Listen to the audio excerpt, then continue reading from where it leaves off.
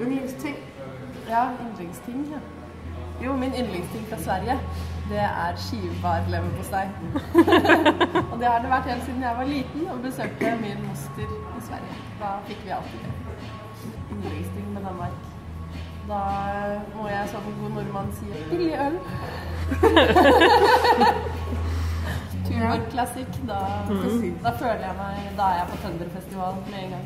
Min yndlings svenske slash norske ting, det må altså være friske rejer. Det er så godt. Og så ellers, hvad var det, jeg sagde med Sverige?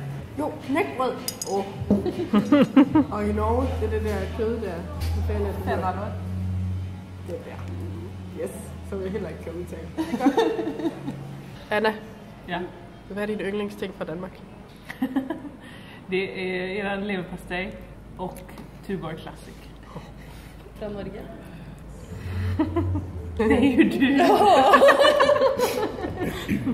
Har du vært så mye i Norge? Nej. Ja, men äh, Hardingfjälla, det är ju väldigt vackert.